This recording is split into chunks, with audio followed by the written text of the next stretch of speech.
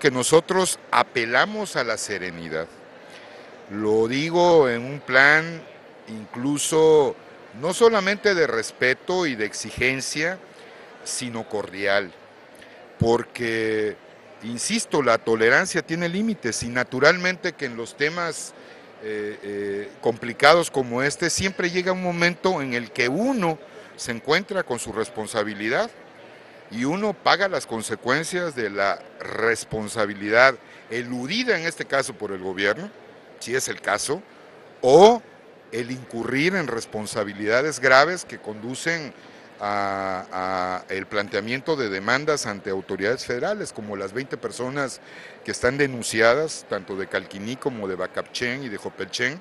por el bloqueo de carreteras ahora y en los días anteriores. Y naturalmente que también, eh, como me lo han expresado muchos ciudadanos, se han rebasado límites, pero también es importante decirlo. Créanme que estoy impuesto de mi responsabilidad y yo también tengo que medir muy bien hasta dónde, en qué momento, pero sobre la base de que la tolerancia tampoco es algo que en determinado momento se pueda o se deba de renunciar fácilmente a ello.